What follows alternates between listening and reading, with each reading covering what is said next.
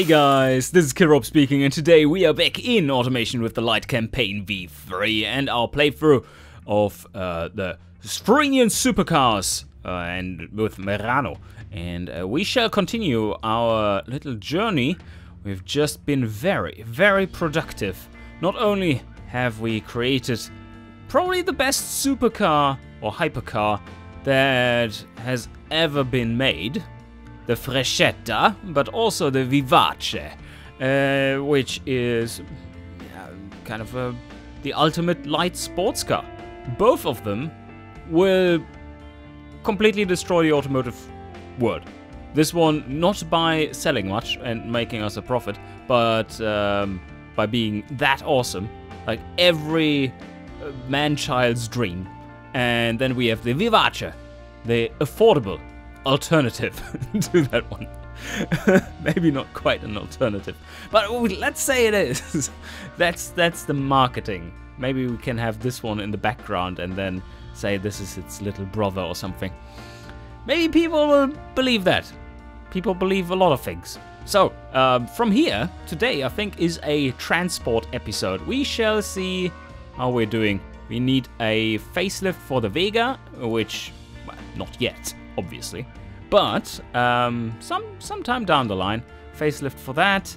And other than that, we have the Avantis still building. Uh, yes, that one might be next. I think that would make sense to have that one updated next. But first, while this is taking a lot of cash, we need to make sure that the Vega continues selling as well as it does right now.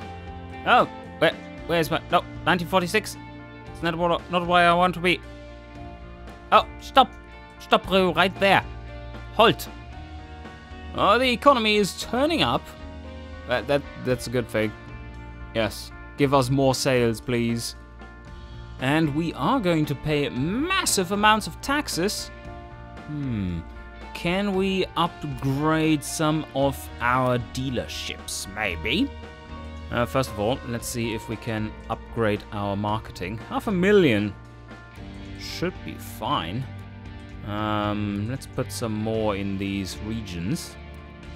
Dalua. Let's make that market a bit bet, uh, bigger. Do we want that? Uh, probably yes. 120 million seems adequate. It's a massive hypercar market after all. 525 million, no, not going there. And the Hetvesians are not liking sports cars, and this is just too much for now. Okay, alright, I'm happy. That should have reduced our tax load a little bit. Let's see how much we have to pay. 50 million, alright. Wasn't the Vivace a $2 billion project? I believe it is. Uh, it will take us uh, gathering a bit more cash before we can pay all this off. And the Frecetta isn't uh, isn't entirely for free either. Holy shit, 137 million in taxes. Yeah, that hurts a bit. Uh, um, let's quickly check out how much tech we now have in body. Well, four. That means we should have year 2000 bodies now. And we do need a new challenger for the Avantis. That one is really old. Alright, selecting all regions, and let's see what we do have in this category. Everything is from 93. Uh, come on. Come on. Spinny disc. Spin faster. Uh, of course. Of course. Uh, the the good old 2000s coupe uh, body. Mm. Yeah. GT Premium it is not. Man, there's nothing in there that would fit the bill. We do need a four-seater. That's the whole point of the Avantis. No, now a factory starts building. You can see the costs skyrocket. We're still making profits though. And then another factory starts building. Getting a little...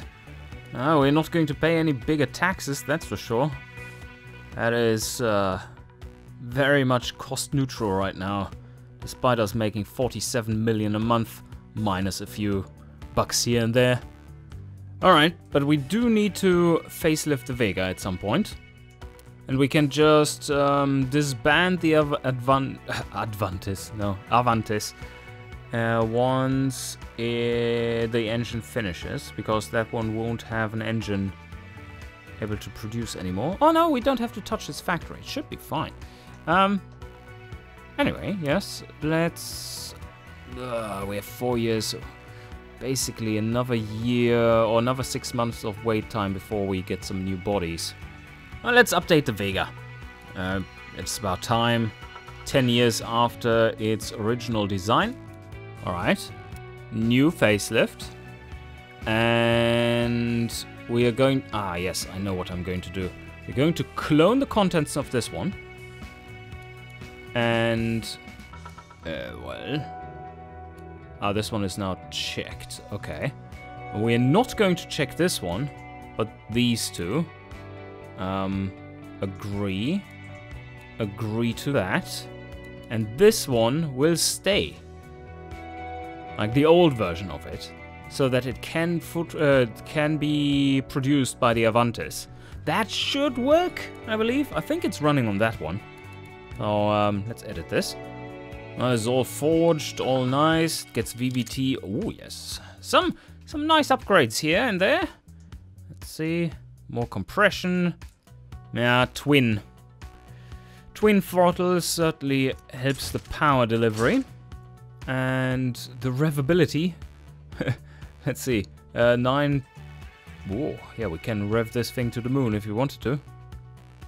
Doesn't doesn't bring us anything though. It's beautiful sound for the sound, of course. And we can put a few points into the exhaust. Yeah. Yeah, yeah, yeah, this is this is good stuff. Um, plus five there. And here we already are plus three. Let's go for plus five. And... Well, do, do we actually need that? I mean, does it change anything? No, it doesn't. It's already revving way, way higher than uh, we could possibly use. So now for a bit more powerful version. a bit more powerful. Well, let's see if we also can get something like 25 horsepower out of this one. I, I shall hold the engine so that we see the difference what all this tuning does. I've also upped the cam profile a bit, and uh, yeah, this looks pretty impressive. I deliberately have this down here so that you can see the top end there. Uh, yeah, that's quite a big difference. I like it. So, how much power are we making compared to before? That is 344 instead of 316. Good update. Oh, wait a second, we can probably push that higher. Uh, 48. Do we want to sacrifice that nice low end, low end power band? Still higher there uh, compared to the previous engine.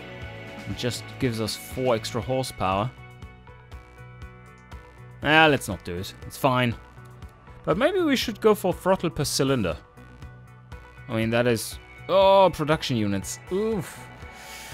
Oof, big oof. Yeah, that's another 10 production units on top of that. Now there we go. Another inch of cam profile and we have 31 horsepower advantage over the old one. Alright, let's see. What can we make of the little one? Last time, we did give it a big, big update. I remember that. It was massively increased performance. Now let's hold the engine and see what we can do. It cast components now revving to seven uh, to 9,700. Is that enough? I, I believe it is. Oh, can get VVT. Yes. Whoa, that makes such a difference. Okay, this this engine is just insane. Holy shit. L look at that. Some more perform high-end performance gain there. And low-end performance gain. That's a lot. Uh, okay. We are now making, out of 2.5 liter, we are making 269 horsepower on um, on cast components, cast internals without quality spam. And even a bit more here. Can we open up the exhaust more? We could. But nah, it doesn't do too much. So let's keep it closed. Our medium 3 is already working full out. Can't keep up. Can we make the situation any better? Hmm, well, we can try to amp up the tooling optimization in engineering. And we can try to give it some more quality here to up the production in general. That is very costly though. It's a hundred million just for that. Is that really worth it? Um, wait a second. Which one are we supposed to build? The clone? Oh no, this must be the original. Yeah, so let's remove this. Up the efficiency of production.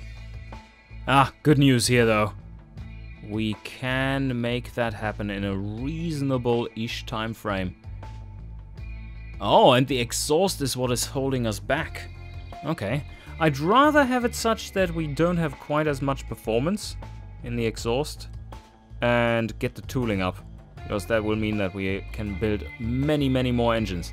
Look at that. So this is 918 now. At 60, or 70 tooling optimization, we would be at 1,200. Yeah, that's that's a difference. And ooh, pressure and funding is at maximum. Reliability is not too great. Yep, let's change over the engine to not use 5 quality on the exhaust. Plus 1 quality on everything. Yeah, that's, probably better. That will also limit the uh, requirements of production units. And that is quite something. We will be able to produce so many more engines. Oh, and it will uh, up the factory efficiency overall. That too. So up, yep, look at that. Now the exhaust system is down to 16.8 as a base, and we can up the tooling, can optimize. There's not much you guys can learn at this pressure, but I mean, 30 months is a lot of time. Let's sign this off for now, and then have a look at the cars and what updates we need to uh, implement into the Vega of the next generation. Alright, okay, now that we are going to get the Vivace, I think this one should be slightly higher end? It is slightly higher end, I mean we have the sports interior here. For the Vivace we had standard and basic or something crazy low like that. Maybe updating it to uh, the premium cassette while it's still here. Yeah, that will differentiate it so, somewhat from the rest. We've already engineered ABS for this one. Now that's a good thing. We could update to 90s standard safety. And while we're at it, why not try to get some more fancy tech in here? Engineering time 16, ouch. Yeah, I kind of have to choose. Adaptive has already been engineered and adding these is... It's probably for the better. Yeah, sway bars over even better dampers. Oh, this is getting close. Uh, you see the in already trying to do the uh, complete overturn. Like, oversteer power. Here we come. Uh, also, this car is pretty high. Why is it so high? 6.2 degrees roll angle. What the fuck? What the fuck is going on? Oops. Whoa! Stop you right there, sir. Alright, this is better. 4 degrees now, 4.3 instead of 6. Uh, and it should look a bit better as well. Yes, yes, yes. It's no longer a race buggy. Light Sport Premium, that is the category we did not aim at in the Vivace, so it's not stealing too much market from it. It's great. Now, this one has now gone full luxury CD. Hmm. Is that what we want for it? Otherwise, there's not too much difference, really. So, uh, yeah, let's go for it. Sport and luxury CD. Also some more uh, suspension tuning. And we are ready for that one to be done as well. Uh, slightly higher priced. More of a supercar. Indeed, that's what it's supposed to be. Yeah, that's spot on. Spot on. Very, very nice uh, convertible sport um, in a pretty sweet spot for the pricing. And a convertible supercar, 95%. Good stuff. That's for the convertible, of course, OSS. So with all these cars done, new iteration, need to look into the factory. Just to update it is 61 million. Let's sign that one off. That's good. And oh, yeah, okay, at no pressure, this takes 40 months. It's a little much. We can pour some money into it though, because we're making a lot of profit here. Every month 40 million roughly. That means that we can easily afford to put um, like 30-ish million extra into it for gaining a month. yeah, that's a lot. Alright, engineering is pushed to 30 months as well. And we do need... Holy shit, what a profit forecast that is.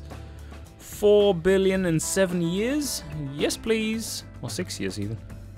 Yeah, that's quite good. Uh, 2.5 shifts target. I do want to squeeze this factory as much as I can. And this should be it, really. 30-30, 7-8. Yeah, spot on. Let's sign it off. Uh, this one is still over here. we don't, we don't want you. Go away. Maybe I should just edit the project and get rid of... Oh. Yeah, there's the uh, latest facelift. Uh, 46, 55, 60, 65, 94. Spot the odd one out. Delete. Yep, now it's gone. Okay, good. Um, we're signing this one off. This all looks good. This one is still in there. Agreed! Ah, so much is going on. So much is going on. There will be a time where we are suffering great, great losses. Well, well, this is going on. Pretty good. We don't have to pay any taxes like this. Good investment. Um, we should take a look. 53 million? That's really nice. Anyway, let's check out the markets. Overall, all the world's markets, we have pretty solid coverage of the super and hypercar market. I I do oppose that that statement. Is it true? I think it is. Um, market awareness. Let's have a look. Thirty percent. Yeah, that's solid. And very soon, we will be delving into the light sport here as well. It's not a massive market.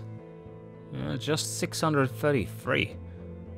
Oh, but that is at 6.8%. No, year-on-year -year growth. Everything grows. Ah, alright, uh, sorry. Uh, demographic sizes.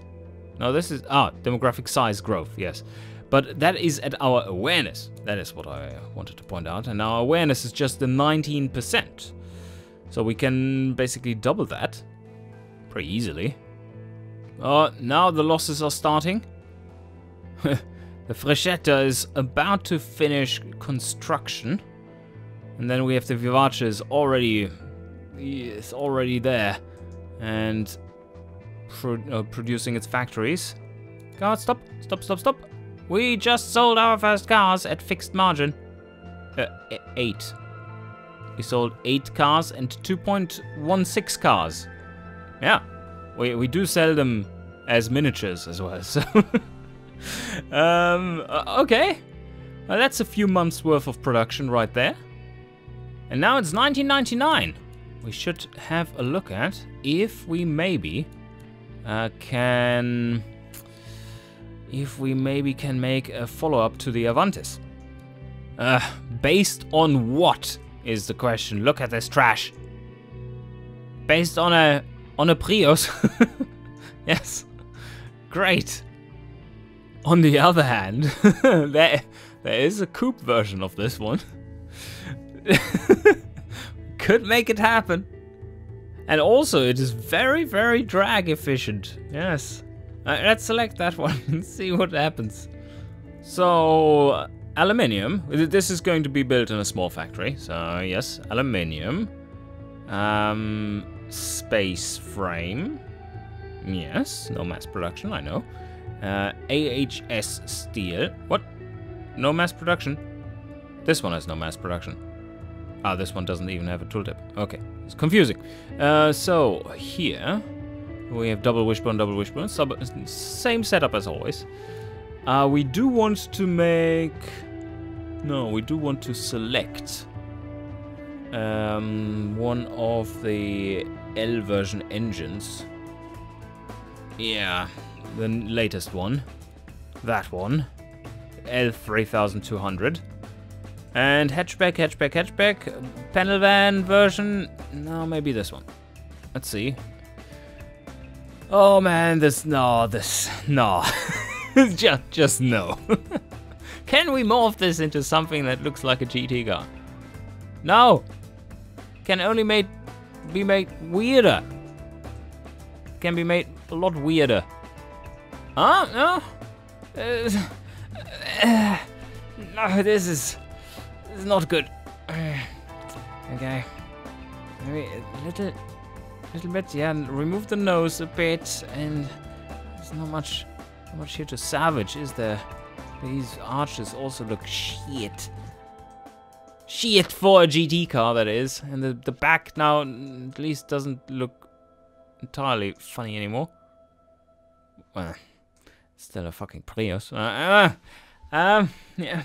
And this is just but ugly. this is... Fuck me, that's ugly. no, no, I can't do this to you guys. I can't, just can't. Uh, okay, I'm, I'm cruel. I know, I'm cruel. But not that cruel. Let's just see how it performs, shall we? um, probably all-wheel drive while we're at it. Or advanced automatic, yes, five ratios. And viscous, don't really need the diff, just for smoothing out some action there. Oh, can't even put on any tires. Yeah, okay. Need to morph more. Two 55s in the rear, two 35s in the front. Vented discs. Okay. Well, the stats are pretty terrible right now.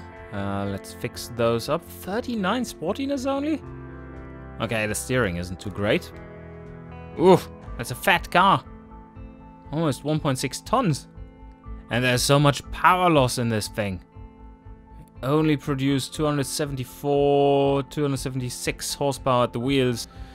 All-wheel drive is eating a bit, and of course the automatic transmission. Okay, I've seen worse builds, but stats are acceptable. Uh, they are indeed acceptable. Great scoring in the category we are aiming for, GT and uh, probably also GT Premium, if we take a look. Yeah, 157. That's definitely the right kind of car. And the automatic transmission, of course, is what is killing sportiness a bit. Let's see what this one does with manual and... Oh, yeah, okay. That's a much more reasonable value. This must be the fastest Prius ever made. We shall have a go at the test track before we scrap this design. or maybe we shouldn't, but I wouldn't give it to you to design. Although that might be a good challenge make this thing. Yeah, actually, the more I think about this, I mean, it does take a real uh, OCD to uh, to make this car into a looker in the GT premium market. Right. Okay. Uh, test track. What do you say? It always sounds great. Revs to 9.5. I mean, people would get fucking scared with this thing coming at them. And it does the test track in 2.19.7. Hmm, yeah, it's a little mediocre maybe. Well, we have been building very much non-mediocre cars lately. Now, now, just look at it. Just look at it. This this would be uh, maybe a bit too much of a funny challenge. And for a heavy car like this, coming out in like 2005, only having 320 horsepower, might not be enough. So I think this design actually needs to be scrapped. This is the one of the few Merano designs ever that has been scrapped. We delete the project. It's never happened. It was never to see the light of day. But after all that, I hope you enjoyed and see you guys next time.